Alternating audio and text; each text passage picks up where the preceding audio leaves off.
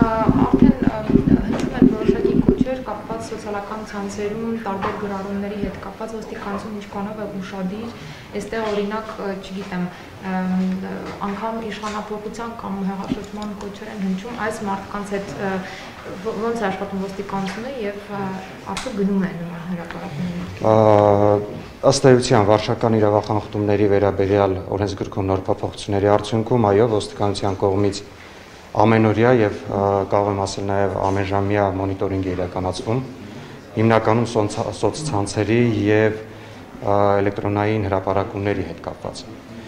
այն կոչերը, այն հղումները, այն ուղերձները, որոնք որ պարունակում են վարչական իրավախախտումների վերաբերյալ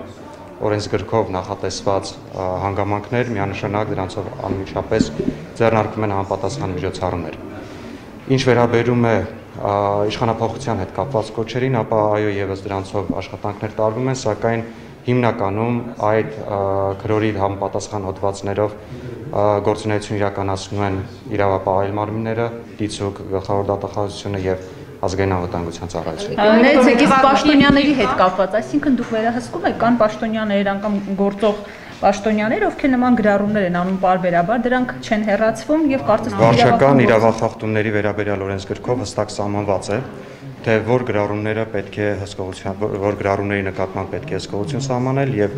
որ դեպքերում դրանք ենթակա են դուժերի եւ հեռացման։ Ինչ-որ թիվ կա արդեն որ օրինակ Այո, ամեն օր հրապարակվում են տվյալ թվերը մեր կողմից, եթե չեմ սխալվում, այսօրվա դրությամբ մոտ 300 300-ից ավել էր որի 1/3-ը մոտ բաժներ ընկնում լրատվամիջոցների։ Իսկ պաշտոնատար անձանցից որևէ մեկը տուգանվել է։ Կրկնեմ, պաշտոնատար անձիկ համաձայն վիվ օրենսգրքի անպատասխան դրույթների ենթակա չեն տուգանման տվյալ հատվածի արտոնություն չէ, դա սահմանված է օրենքով, հետեւաբար մենք առաջնորդվում ենք օրենքի պահանջներով։ Կներեք, մեկ հստակեցում Վազգեն Մանուկյանի հետ ոստիկանությունը կապ հաստատել է թե ոչ։ Վազգեն Մանուկյանի հետ կապ հաստատելու խնդիրի կոնկրետ անձանց հետ կապված որևէ տեղեկատվություն չեմ կարող տրամադրել, սակայն բոլոր դեպքերով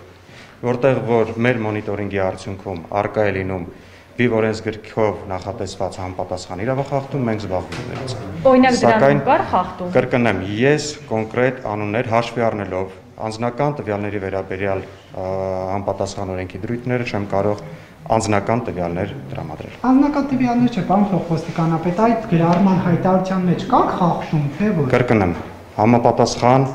օրենքով հստակ սահմանված է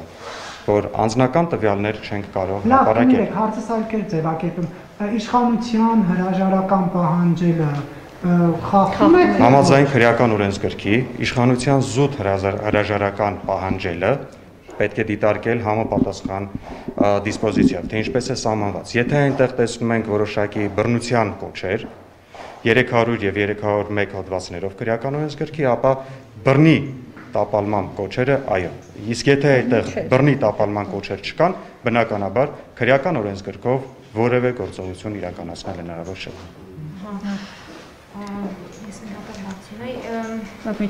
Այսինքն հիմա վերահսկողությունը քաղաքացիների նկատմամբ շարունակվելու է նաև դիմակ չկրելու կամ ոչ պատշաճ կրելու առումով, քանի որ շատերի զգոնությունը կարծես թե իսկապես թուլացել է։ Միանշանակ մենք արդեն իսկ անցել ենք հին ռեժիմով աշխատանքների կատարմանը եւ